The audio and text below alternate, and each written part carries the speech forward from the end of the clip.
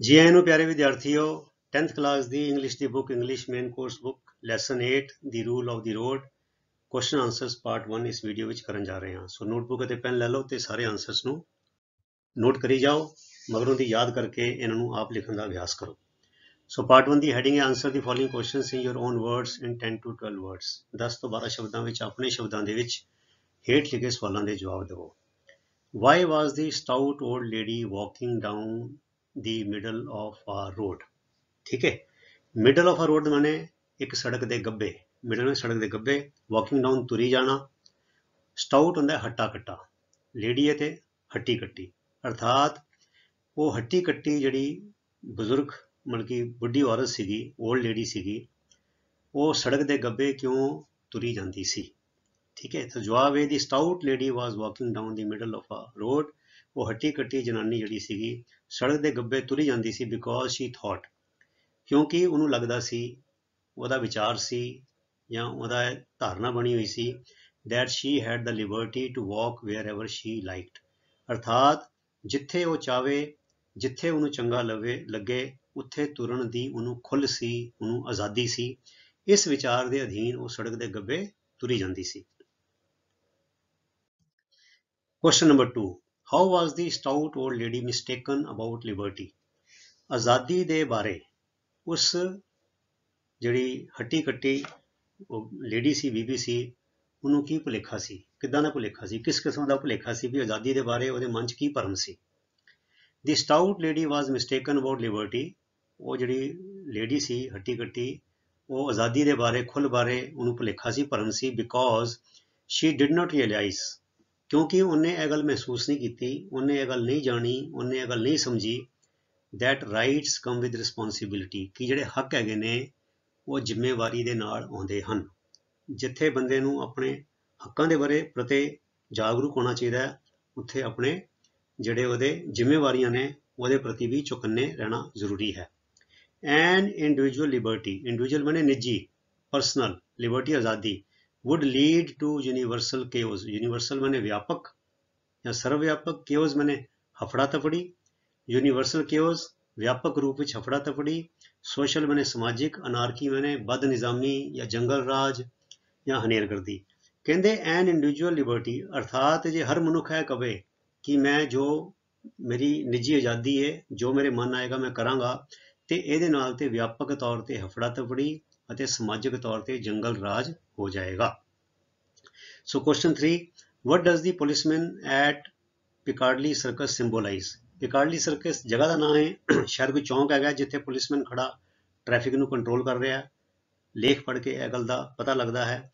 ਤੇ ਸਵਾਲ ਹੈਗਾ ਕਿ ਜਿਹੜਾ ਪੁਲਿਸਮੈਨ ਖੜਾ ਹੈ ਪਿਕਾਰਡਲੀ ਸਰਕਸ ਤੇ, ਉਹ ਕਿਸ ਗੱਲ ਦਾ ਪ੍ਰਤੀਕ ਹੈ? So the policeman at the Piccadilly circle circus symbolises curtailment curtail ਹੁੰਦਾ ਹੈ ਕਾਂਟੀ ਛਾਂਟੀ ਕਰਨੀ। ਤੇ ਕਰਟੇਲਮੈਂਟ ਕਾਂਟ ਛਾਂਟ ਕਰਨ ਦੀ ਕਿਰਿਆ। ਕਾਦੀ ਕਾਂਟ ਛਾਂਟ ਪ੍ਰਾਈਵੇਟ ਲਿਬਰਟੀ ਨਿੱਜੀ ਆਜ਼ਾਦੀ ਦੀ। ਅਰਥਾਤ ਜਿਹੜਾ ਪੁਲਿਸਮੈਨ ਹੈਗਾ, ਉਹਨੂੰ ਕੰਟਰੋਲ ਕਰ ਰਿਹਾ ਨਾ ਕਿ ਤੁਸੀਂ ਗੱਡੀ ਰੁਕ ਲਓ ਇੱਥੇ, ਤੇ ਹੁਣ ਉਹਦੀ ਉਹਦੀ ਆਜ਼ਾਦੀ ਤੇ ਖਲਲ ਹੈਗਾ, ਵੀ ਮੇਰੀ ਗੱਡੀ ਰੋਕ ਦਿੱਤੀ, ਇਹ ਰੈੱਡ ਲਾਈਟ ਹੈਗੀ ਹੈ, ਰੁਕ ਜਾਓ। ਹੁਣ ਤੁਸੀਂ ਇੱਧਰ ਨੂੰ ਮੁੜੋ, ਇੱਧਰ ਨਾ ਮੁੜੋ, ਜਾਂ ਜੇ ਗੱਡੀ ਸਪੀਡ ਤੇ ਤੇਜ਼ ਚਲਾਈ ਤੇ ਤੁਹਾਨੂੰ ਤੁਹਾਡਾ ਚਲਾਨ ਹੋ ਜਾਏਗਾ, ਜਾਂ ਤੁਹਾਡੀ ਗੱਡੀ ਜੇ ਪ੍ਰਦੂਸ਼ਣ ਕਰ ਰਹੀ ਹੈ ਤੇ ਚਲਾਨ ਹੋ ਜਾਏਗਾ। ਤੇ ਬੰਦਾ ਕਹੇਗਾ, ਲੈ ਜੀ, ਇਹ ਤੇ ਮੇਰੀ ਆਜ਼ਾਦੀ ਵਿੱਚ ਖਲਲ ਹੈਗਾ। ਨਹੀਂ ਉਹ ਪੁਲਿਸਮੈਨ ਇਸ ਗੱਲ ਦਾ ਪ੍ਰਤੀਕ ਹੈ ਕਿ ਜਿਹੜੀ ਨਿੱਜੀ ਆਜ਼ਾਦੀ ਹੈ, ਉਹਦੇ ਤੇ ਥੋੜਾ ਕੁੰਡਾ ਕੱਸਿਆ ਜਾਵੇ ਕਰਟਲਮੈਂਟ ਮੈਨੇ ਉਹਦੀ ਕਾਂਟੀ ਛਾਂਟੀ ਕੀਤੀ ਜਾਵੇ, ਵੀ ਹਰ ਗੱਲ ਦੀ ਖੁੱਲ ਨਾ ਦਿੱਤੀ ਜਾਵੇ। ਇਹ ਕਦੇ ਲਈ ਕੀਤਾ ਜਾਂਦਾ? ਟੂ ਇਨਸ਼ੋਰ ਸੋਸ਼ਲ ਆਰਡਰ ਤਾਂ ਕਿ ਸਮਾਜ ਦੇ ਵਿੱਚ ਇੱਕ ਤਰਤੀਬ ਲਿਆਈ ਜਾਵੇ, ਯਕੀਨੀ ਬਣਾਈ ਜਾ ਸਕੇ, ਵਿੱਚ ਤੇ ਉਹ ਜਿਹੜੀ ਸਮਾਜਿਕ ਸਮਾਜਿਕ ਜਿਹੜਾ ਆਰਡਰ ਹੋਏਗਾ, ਸਮਾਜਿਕ ਜਿਹੜਾ ਤਰਤੀਬ ਹੋਏਗੀ, ਇੱਕ ਅਮਨ ਕਾਨੂੰਨ ਹੋਏਗਾ which makes one's freedom reality, ਉਹ ਅਸਲ ਵਿੱਚ ਹਰ ਮਨੁੱਖ ਦੀ ਆਜ਼ਾਦੀ ਨੂੰ ਫਿਰ ਇੱਕ ਹਕੀਕਤ ਬਣਾਏਗਾ।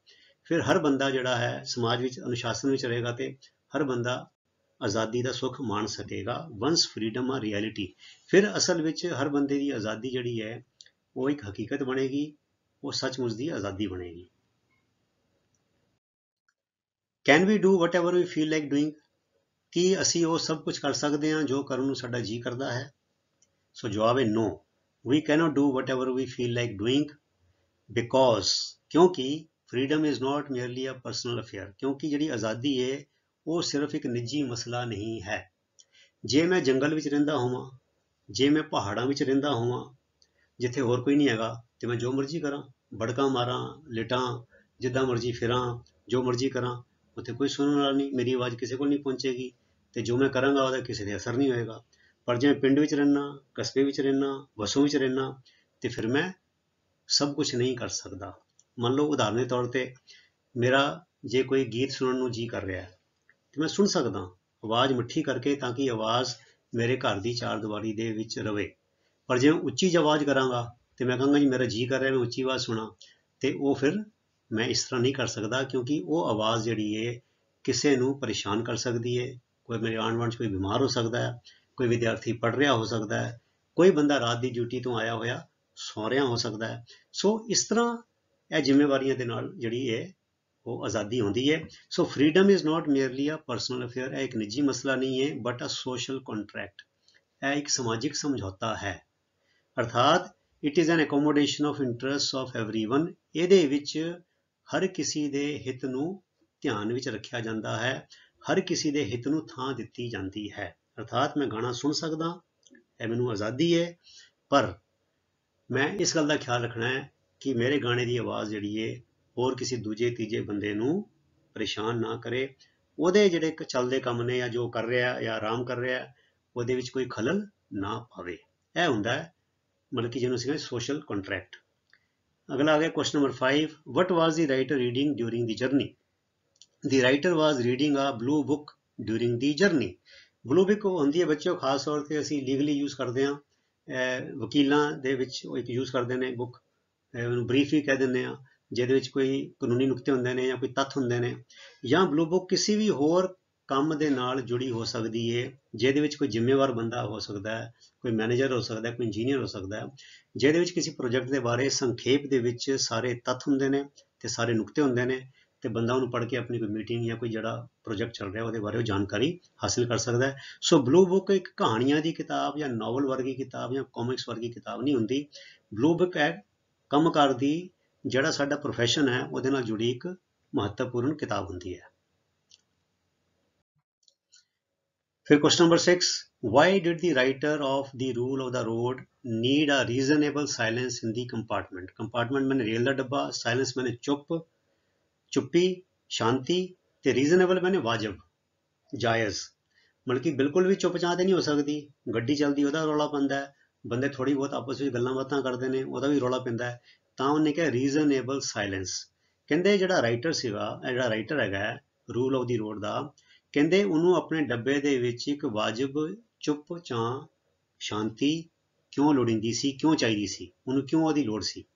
ਸੋ ਜਵਾਬ ਹੈ the writer needed a reasonable silence in the compartment writer ਨੂੰ ਆਪਣੇ ਡੱਬੇ ਵਿੱਚ ਇੱਕ ਵਾਜਬ ਸਾਇਲੈਂਸ ਸ਼ਾਂਤੀ ਚਾਹੀਦੀ ਸੀ because he was reading the book as a task ਕਿਉਂਕਿ ਜਿਹੜੀ ਬੁੱਕ ਪੜ੍ਹ ਰਿਹਾ ਸੀਗਾ ਉਹ ਇੱਕ ਕੰਮ ਦੇ ਵਜੋਂ ਪੜ੍ਹ ਰਿਹਾ ਸੀ ਉਹਦੀ ਡਿਊਟੀ ਸੀ ਉਹ ਕਿਸੇ ਕੰਮ ਜਾ ਰਿਹਾ ਸੀ ਤੇ ਉਹ ਕੰਮ ਦੇ ਵਜੋਂ ਉਹ ਜ਼ਰੂਰੀ ਸੀ ਉਹ ਸਮਾਂ ਸਫ਼ਰ ਦਾ ਸੀਗਾ ਉਹਨੂੰ ਵਰਤ ਰਿਹਾ ਸੀਗਾ ਉਹ ਉਹਦੇ ਵਾਸਤੇ ਟਾਸਕ ਸੀਗਾ for a thoughtful purpose purpose ਉਹਦਾ ਮਕਸਦ ਥਾਟਫੁਲ ਮੈਨੇ ਗੰਭੀਰ ਵਿਚਾਰਵਾਨ ਮਤਲਬ ਕਿ ਉਹ ਕਿਸੇ ਮਕਸਦ ਲਈ ਉਸ ਕਿਤਾਬ ਨੂੰ ਪੜ੍ਹ ਰਿਹਾ ਸੀ, ਕਿਸੇ ਗੰਭੀਰ ਮਕਸਦ ਨੂੰ ਧਿਆਨ 'ਚ ਰੱਖ ਕੇ ਨਾਟ ਫॉर ਪਲੇਜ਼ਰ ਉਹ ਮਨੋਰੰਜਨ ਲਈ ਨਹੀਂ ਪੜ੍ਹ ਰਿਹਾ ਸੀ। ਉਹ ਐਵੇਂ ਆਪਣਾ ਟਾਈਮ ਪਾਸ ਕਰਨ ਲਈ ਕਿਤਾਬ ਨਹੀਂ ਪੜ੍ਹ ਰਿਹਾ ਸੀ, ਇਸ ਕਰਕੇ ਉਹਨੂੰ ਵਾਜਬ ਸ਼ਾਂਤੀ ਜਿਹੜੀ ਹੈ, ਉਹ ਡੱਬੇ ਵਿੱਚ ਚਾਹੀਦੀ ਸੀ। Question number 7 who disturb the writer of the rule of the road ਜਿਹੜਾ the rule of the road the writer ਹੈ, ਉਹਦੇ ਕੀਤੇ ਜਾਣ ਵਾਲੇ ਕੰਮ ਵਿੱਚ ਕਿੰਨੇ ਖਲਲ ਪਾਇਆ? ਜਾਂ ਕਿੰਨੇ ਉਹਨੂੰ ਬੇਚੈਨ ਕੀਤਾ ਕਿੰਨੇ ਉਹਦਾ ਧਿਆਨ ਖਿੰਡਾਇਆ। ਸੋ ਜਵਾਬ ਹੈ two men had boarded the train, ਅਰਥਾਤ ਦੋ ਆਦਮੀ ਜਿਹੜੇ ਸੀਗੇ, ਉਹ ਟ੍ਰੇਨ ਵਿੱਚ ਚੜੇ ਸੀਗੇ ਐਂਡ ਵਨ ਆਫ them ਅਤੇ ਉਹਨਾਂ ਵਿੱਚੋਂ ਇੱਕ ਟਾਕਡ ਲਾਊਡਲੀ ਉਹਨਾਂ ਵਿੱਚੋਂ ਇੱਕ ਉੱਚੀ ਉੱਚੀ ਬੋਲੇ ਐਂਡ ਨਾਨ ਸਟਾਪ ਅਤੇ ਬਿਨਾਂ ਰੁਕੇ ਬੋਲੇ ਟੂ ਦੀ ਅਦਰ ਦੂਜੇ ਨਾਲ ਬਿਨਾਂ ਰੁਕੇ ਉੱਚੀ ਉੱਚੀ ਬੋਲਦਾ ਸੀ। ਹਿਸ ਪੰਪਸ ਪੰਪਸ ਮੈਨੇ ਸ਼ੋਈ, ਦਿਖਾਵੇ ਵਾਲੀ, ਬੜੀਆਂ ਉੱਚੀ ਉੱਚੀ ਫੜਾ ਮਾਰਨ ਵਾਲੀ ਫੁਕਰੇਪੰਤੀ ਵਾਲੀ ਹਿਸ ਪੰਪਸ ਐਂਡ ਇਨਸੈਸੈਂਟ ਇਨਸੈਸੈਂਟ ਹੁੰਦਾ ਬੱਚਿਓ ਬਿਨਾਂ ਰੁਕੇ ਇਨਸੈਸੈਂਟ ਮੈਂ ਜਾਣ ਕੇ ਸ਼ਬਦ ਪਾਇਆ, ਤੁਸੀਂ 10ਵੀਂ ਚ ਆ ਗਏ ਹੋ ਬੱਚਿਓ, ਤੇ ਇਦਾਂ ਦੇ ਸ਼ਬਦਾਂ ਦੀ ਨੌਲੇਜ ਤੁਹਾਨੂੰ ਹੋਣੀ ਚਾਹੀਦੀ ਹੈ। ਇਨਸੈਸੈਂਟ ਦਾ ਮਤਲਬ ਹੁੰਦਾ ਕੰਟੀਨਿਊਅਸ ਨਾਨ ਸਟਾਪ ਦਾ ਸਮਾਨਾਰਥਕ ਸ਼ਬਦ ਹੈ ਇਨਸੈਸੈਂਟ ਠੀਕ ਹੈ? ਇਨਸੈਸੈਂਟ ਟਾਕ ਉਹਦੀ ਇਹ ਫੁਕਰੇਪੰਤੀ ਵਾਲੀ ਤੇ ਬਿਨਾਂ ਰੁਕੇ ਜਿਹੜੀ ਉਹਦੀ ਗੱਲਬਾਤ ਸੀ ਟਾਕ ਡਿਸਟਰਬਡ ਦੀ ਰਾਈਟਰ ਇਸ ਗੱਲ ਨੇ ਰਾਈਟਰ ਨੂੰ ਡਿਸਟਰਬ ਕੀਤਾ। Question number 8 what was the intruding passenger talking of? Intruding ਮੈਨੇ ਮਤਲਬ ਘੁਸਪੈਠ ਕਰਨ ਵਾਲਾ ਉਹ ਕਿਸ ਗੱਲ ਦੀ ਘੁਸਪੈਠ ਕਰ ਰਿਹਾ ਸੀ ਉਹਦੀ ਆਵਾਜ਼ਾਂ ਉਹਦੇ ਕੰਨਾਂ 'ਚ ਪੈ ਰਹੀਆਂ ਸੀ ਤੇ ਇੱਕ ਕਿਸਮ ਦੀ ਉਹ ਜਿਹੜਾ ਪੜ ਰਿਹਾ ਸੀ ਰਾਈਟਰ ਉਹਦੇ 'ਚ ਘੁਸਪੈਠ ਹੋ ਰਹੀ ਸੀਗੀ ਸੋ what was the intruding passenger talking of? ਜਿਹੜਾ ਉਹ ਡਿਸਟਰਬ ਕਰਨ ਵਾਲਾ ਪੈਸੇਂਜਰ ਸੀ ਜਿਹੜਾ ਉੱਚੀ ਉੱਚੀ ਬੋਲ ਰਿਹਾ ਸੀਗਾ ਉਹ ਕਿਹਦੇ ਬਾਰੇ ਗੱਲ ਕਰ ਰਿਹਾ ਸੀਗਾ ਸੋ ਦਾ ਜਵਾਬ ਹੈ the intruding passenger was not talking of anything specific ਉਹ ਜਿਹੜਾ ਪੈਸੇਂਜਰ ਸੀਗਾ ਨਾ ਉਹ ਜਿਹੜਾ ਉੱਚੀ ਉੱਚੀ ਬੋਲ ਰਿਹਾ ਸੀਗਾ, ਉਹ ਕਿਸੇ ਖਾਸ ਵਿਸ਼ੇ ਬਾਰੇ ਨਹੀਂ ਬੋਲ ਰਿਹਾ ਸੀਗਾ। ਕੋਈ ਸਪੈਸੀਫਿਕ ਨਹੀਂ ਇੱਧਰ ਉੱਧਰ ਦੀ ਜਬੜੀਆਂ ਮਾਰ ਰਿਹਾ ਸੀਗਾ। He was speaking on any and every subject under the sun ਮਤਲਬ ਕਿ ਦੁਨੀਆ ਵਿੱਚ ਅੰਡਰ ਦਾ ਸਨ ਮਤਲਬ ਦੁਨੀਆ ਵਿੱਚ ਜਿਹੜਾ ਵੀ ਕੋਈ ਵਿਸ਼ਾ ਹੋ ਸਕਦਾ ਹੈ, ਜਾਂ ਹਰ ਕੋਈ ਵਿਸ਼ਾ ਹੋ ਸਕਦਾ ਹੈ, ਉਹ ਉਹਦੇ ਬਾਰੇ ਬੋਲੀ ਜਾ ਰਿਹਾ ਸੀ। ਅਰਥਾਤ ਉਹਨੂੰ ਬੋਲਣ ਦੀ ਆਦਤ ਸੀ ਅਵਾ ਤਵਾ ਇਧਰ ਉਧਰ ਬੋਲੀ ਜਾ ਰਿਹਾ ਸੀ। Question number 9 what is the basis of social contract ਅਰਥਾਤ ਜਿਹੜਾ ਸਮਾਜਿਕ ਸਮਝੌਤਾ ਹੈ ਉਹਦਾ ਆਧਾਰ ਕੀ ਹੈ? ਅਰਥਾਤ ਕਿਸ ਆਧਾਰ ਤੇ ਸਮਾਜਿਕ ਸਮਝੌਤਾ ਬਣਦਾ ਹੈ? ਅ ਰੀਜ਼ਨੇਬਲ ਕੰਸੀਡਰੇਸ਼ਨ ਰੀਜ਼ਨ ਵਾਜਬ ਧਿਆਨ ਚ ਰੱਖਣ ਵਾਲੀ ਗੱਲ ਜਿਹੜੀ ਹੈ, ਉਹ ਕਿਹੜੀ ਹੈ? ਫॉर ਦੀ ਰਾਈਟਸ ਹੱਕ ਐਂਡ ਫੀਲਿੰਗਸ ਆਫ ਅਦਰਸ ਅਰਥਾਤ ਦੂਜੇ ਲੋਕ ਜਿਹੜੇ ਹੋਰ ਹੈਗੇ ਨੇ, ਉਹਨਾਂ ਦੇ ਹੱਕ ਅਤੇ ਉਹਨਾਂ ਦੀ ਭਾਵਨਾਵਾਂ ਨੂੰ ਵਾਜਬ ਢੰਗ ਦੇ ਨਾਲ ਧਿਆਨ ਵਿੱਚ ਰੱਖਣਾ ਇਸ ਦੀ basis of a social contract ਸਮਾਜਿਕ ਸਮਝੌਤੇ ਦਾ ਇੱਕ ਇਹੀ ਨੇਮ ਹੈ।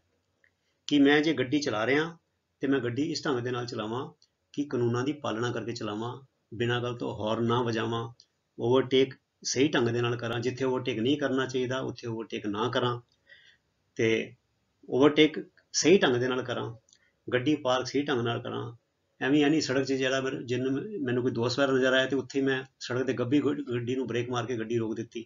ਸੋ ਅਰਥਾਤ ਜਿਹੜੇ ਵੀ ਮੈਂ ਕੰਮ ਕਰਦਾ, ਉਹਦਾ ਦੇਖਣਾ ਹੈ ਕਿ ਉਸ ਕੰਮ ਕਰਕੇ ਕਿਸੇ ਦੂਜੇ ਬੰਦੇ ਨੂੰ ਕੋਈ ਪਰੇਸ਼ਾਨੀ ਜਾਂ ਕੋਈ ਨੁਕਸਾਨ ਨਾ ਹੋ ਰਿਹਾ ਹੋਵੇ। ਦੂਜੇ ਦੀ ਭਾਵਨਾਵਾਂ ਨੂੰ, ਦੂਜੇ ਦੇ ਹੱਕਾਂ ਨੂੰ ਵੀ ਧਿਆਨ 'ਚ ਰੱਖ ਕੇ ਹੀ ਸੋਸ਼ਲ ਕੰਟਰੈਕਟ ਦਾ ਆਧਾਰ ਬਣਦਾ ਹੈ। Question number 10 we should be a judicious mixture of both mixture ਹੁੰਦਾ ਹੈ ਮਿਸ਼ਰਣ ਜੁਡੀਸ਼ੀਅਸ ਹੁੰਦਾ ਹੈ ਵਿਵੇਕਪੂਰਨ। ਸਿਆਣਪ ਭਰਪੂਰ, ਜਿਹਦੇ ਵਿੱਚ ਸਿਆਣਪ ਨਜ਼ਰ ਆਵੇ। ਸੋ ਕਹਿੰਦੇ ਵੀ ਸ਼ੁੱਡ ਬੀ ਆ ਜੁਡੀਸ਼ੀਅਸ ਮਿਕਸਚਰ ਆਫ ਬੋਥ ਅਰਥਾਤ ਸਾਨੂੰ ਮਲਕੀ ਉਹੀ ਮਨੇ ਸਾਨੂੰ ਦੋਨਾਂ ਦਾ ਵਿਵੇਕਪੂਰਨ ਮਿਸ਼ਰਣ ਹੋਣਾ ਚਾਹੀਦਾ ਹੈ, ਸਿਆਣਪ ਭਰਪੂਰ ਮਿਸ਼ਰਣ ਹੋਣਾ ਚਾਹੀਦਾ ਹੈ, ਦੋਨਾਂ ਦਾ। ਉਹ ਕਿਹੜੀਆਂ ਗੱਲਾਂ ਨੇ ਹੁਣ? ਜਵਾਬ ਦੇਣਾ ਆਪਾਂ। ਕਹਿੰਦੇ what does the writer of the rule of the road mean by his statement ਉਹਦੇ ਇਸ ਕਥਨ ਦਾ ਜੋ ਰਾਈਟਰ ਹੈਗਾ, ਇਸ ਲੇਖ ਦਾ, ਉਹਦੇ ਇਸ ਕਥਨ ਦਾ ਕੀ ਮਤਲਬ ਹੈ? ਰਾਈਟਰ ਕੀ ਕਹਿਣਾ ਚਾਹੁੰਦਾ ਹੈ? ਸੋ ਜਵਾਬ ਹੈ ਦੀ ਰਾਈਟਰਸ ਸਟੇਟਮੈਂਟ ਮੀਨਸ ਇਹ ਕੋ ਡਸ ਹੈ ਨਾ ਇੱਥੇ? ਸੋ ਮੀਨਸ ਰਾਈਟਰ ਦੇ ਕਥਨ ਦਾ ਮਤਲਬ ਹੈ that we can neither be complete anarchists, anarchist ਮਾਨੇ ਜੰਗਲ ਰਾਜ, ਅਰਥਾਤ ਵੱਧ ਨਿਜ਼ਾਮੀ, ਅਰਥਾਤ ਨਾ ਤੇ ਅਸੀਂ ਪੂਰਨ ਤੌਰ ਤੇ ਜੰਗਲੀ ਬਣ ਸਕਦੇ ਹਾਂ ਕਿ ਜਿੱਦਾਂ ਮੇਰਾ ਮਨ ਆਏ ਮੈਂ ਉਦਾਂ ਕਰਾਂਗਾ, ਅਸੀਂ ਉਦਾਂ ਵੀ ਨਹੀਂ ਬਣ ਸਕਦੇ, ਠੀਕ ਹੈ ਨੌਰ ਹੋਲੀ ਸੋਸ਼ਲਿਸਟ ਤੇ ਨਾ ਹੀ ਪੂਰਨ ਤੌਰ ਤੇ ਸੋਸ਼ਲਿਸਟ ਬਣ ਸਕਦੇ ਹਾਂ, ਜਿਹਦੇ ਵਿੱਚ ਮਿਲਟਰੀ ਰਾਜ ਹੋਵੇ, ਜਿੱਦਾਂ ਰੂਸ ਵਿੱਚ ਹੁੰਦਾ ਸੀ ਜਾਂ ਨਾਰਥ ਕੋਰੀਆ ਵਿੱਚ ਹੈਗਾ, ਵੀ ਤੁਸੀਂ ਕੀ ਪੜ੍ਹਨਾ ਹੈ ਸਰਕਾਰ ਡਿਸਾਈਡ ਕਰੇਗੀ ਕੀ ਖਾਣਾ ਹੈ ਸਰਕਾਰ ਡਿਸਾਈਡ ਕਰੇਗੀ ਕੀ ਪਾਣਾ ਹੈ ਸਰਕਾਰ ਡਿਸਾਈਡ ਕਰੇਗੀ ਹਨਾ ਨਾ ਤੇ ਹੋਲੀ ਸੋਸ਼ਲਿਸਟ ਬਣ ਸਕਦੇ ਹਾਂ ਤੇ ਨਾ ਹੀ ਕੰਪਲੀਟ ਅਨਾਰਕਿਸਟ ਬਣ ਸਕਦੇ ਹਾਂ ਅਰਥਾਤ ਨਾ ਤੇ ਮੈਂ ਗੁਲਾਮ ਬਣ ਸਕਦਾ ਤੇ ਨਾ ਹੀ ਮੈਨੂੰ ਪੂਰਨ ਆਜ਼ਾਦੀ ਮਿਲ ਸਕਦੀ ਹੈ ਮੈਨੂੰ ਦੋਨਾਂ ਦਾ ਸੁਮੇਲ ਰੱਖਣਾ ਪਏਗਾ ਜਿਵੇਂ ਮੈਂ ਕਿਹਾ 뮤직 ਸੁਣਨ ਲਈ ਆਜ਼ਾਦੀ ਹੈ ਪਰ ਉਸ 뮤직 ਦੇ ਨਾਲ ਗਵਾਂਡੀਆਂ ਨੂੰ ਪਰੇਸ਼ਾਨ ਕਰਨਾ ਇਸ ਗੱਲ ਦੀ ਆਜ਼ਾਦੀ ਨਹੀਂ ਸੜਕ ਦੇ ਉੱਤੇ ਗੱਡੀ ਚਲਾਣੀ ਆਜ਼ਾਦੀ ਹੈ, ਪਰ ਲਾਇਸੈਂਸ ਲੈਣਾ, ਪ੍ਰਦੂਸ਼ਣ ਸਰਟੀਫਿਕੇਟ ਨੂੰ ਠੀਕ ਰੱਖਣਾ, ਮਤਲਬ ਕਿ ਤੇ ਦੂਜਿਆਂ ਨੂੰ ਖਤਰੇ ਵਿੱਚ ਨਹੀਂ ਪਾਣਾ ਉਸ ਢੰਗ ਨਾਲ ਗੱਡੀ ਚਲਾਣੀ, ਉਹ ਮੇਰਾ, ਉਹ ਮੇਰੇ ਤੇ ਬੜੀ ਕਾਨੂੰਨਨ ਇੱਕ ਕਿਸਮ ਦਾ ਕੁੰਡਾ ਹੈਗਾ, ਠੀਕ ਹੈ? ਸੋ ਇਨ ਅਦਰ ਵਰਡਸ ਦੂਜੇ ਸ਼ਬਦਾਂ ਵਿੱਚ we have to maintain a delicate balance delicate ਹੁੰਦਾ ਨਾਜ਼ੁਕ ਬੈਲੈਂਸ ਮੈਨੇ ਸੰਤੁਲਨ, ਸਾਨੂੰ ਇੱਕ ਨਾਜ਼ੁਕ ਸੰਤੁਲਨ ਬਣਾਉਣਾ ਪਏਗਾ between our personal liberty and our social liberty ਅਰਥਾਤ ਮੇਰੀ ਨਿੱਜ ਦੀ ਆਜ਼ਾਦੀ ਤੇ ਸਮਾਜਿਕ ਆਜ਼ਾਦੀ, ਜੇ ਦੂਜੇ ਸਾਰੇ ਬੰਦੇ ਵੀ ਇਨਵੋਲਡ ਹੈਗੇ ਨੇ, ਉਹਨਾਂ ਨੂੰ ਵਿੱਚ ਤੇ ਮੇਰੀ ਆਜ਼ਾਦੀ ਵਿੱਚ ਤੇ ਲੋਕਾਂ ਦੀ ਆਜ਼ਾਦੀ ਵਿੱਚ ਉਹਨਾਂ ਦੇ ਹੱਕ ਹੈਗੇ ਨੇ, ਉਹਨਾਂ ਵਿੱਚ ਇੱਕ ਡੈਲੀਕੇਟ ਬੈਲੈਂਸ ਇੱਕ ਨਾਜ਼ੁਕ ਸੰਤੁਲਨ ਇਹਨੂੰ ਬਣਾ ਕੇ ਰੱਖਣਾ ਪਏਗਾ। ਤੇ ਇਹ ਜਿਹੜੀ ਚੀਜ਼ ਹੈ ਬੱਚਿਓ, ਇਹ ਆਂਦੀ ਪੜ੍ਹ ਲਿਖ ਕੇ। ਇਸੇ ਕਰਕੇ ਸਕੂਲ ਜਾਂਦੇ ਆ ਤੇ ਬੜੀ ਵਧੀਆ ਗੱਲ ਹੈ, ਤੁਹਾਡੀ 10ਵੀਂ ਕਿਤਾਬ ਵਿੱਚ ਇੰਨਾ ਕੀਮਤੀ ਲੇਖ ਹੈ ਬੱਚਿਓ। ਤੇ ਇਹਨੂੰ ਮੈਂ ਕਹਿੰਨਾ ਸਿਰਫ ਆਪਣੀ ਪੇਪਰਾਂ ਲਈ ਨਾ ਪੜੋ ਇਸ ਲੈਸਨ ਨੂੰ ਬਾਰ-ਬਾਰ ਪੜੋ ਵਿਚਾਰੋ, ਆਪਣੇ ਜੀਵਨ ਵਿੱਚ ਅਪਣਾਓ, ਆਪਣੇ ਹੋਰ ਭੈਣਾਂ ਭਰਾਵਾਂ ਨਾਲ, ਦੋਸਤਾਂ ਨਾਲ ਇਹਨੂੰ ਸਾਂਝਾ ਕਰੋ ਤੇ ਘਰ ਵਿੱਚ ਜਿਹੜੇ ਹੋਰ ਤੁਹਾਡੇ ਵੱਡੇ ਨੇ, ਉਹਨਾਂ ਨਾਲ ਵੀ ਸਾਂਝਾ ਕਰੋ ਕਿ ਸਮਾਜ ਦੇ ਵਿੱਚ ਇੱਕ ਹੱਕਾਂ ਦੇ ਪ੍ਰਤੀ ਜਾਗਰੂਕਤਾ ਤੇ ਨਾਲ ਆਪਣੀ ਜ਼ਿੰਮੇਵਾਰੀਆਂ ਨੂੰ ਨਾਲ ਰੱਖ ਕੇ ਅਸੀਂ ਕਿਵੇਂ ਖੁਸ਼ ਜੀਵਨ ਜਿਹੜਾ ਹੈ ਸਮਾਜ ਦੇ ਵਿੱਚ ਜੀਉ ਸਕਦੇ ਹਾਂ। ਸੋ ਐਸੀ ਕਰੇ ਵਿਦਿਆਰਥੀਓ 10 ਸਵਾਲ ਤੁਹਾਡੇ ਕੁਐਸਚਨ ਆਨਸਰ ਪਾਰਟ 1 ਦੇ। ਤੁਸੀਂ ਇਸੇ ਤਰ੍ਹਾਂ ਨੇਮ ਨਾਲ ਉਤਸ਼ਾਹ ਨਾਲ ਆਪਣੀ ਪੜ੍ਹਾਈ ਕਰੀ ਚਲੋ ਤੇ ਅਗਲੇ ਵੀਡੀਓ ਤੱਕ ਲਈ ਗੁੱਡ ਬਾਏ ਤੁਹਾਡਾ ਸਾਰਿਆਂ ਦਾ ਬਹੁਤ ਬਹੁਤ ਧੰਨਵਾਦ। ਰੱਬ ਰਾਖਾ। Thank you very much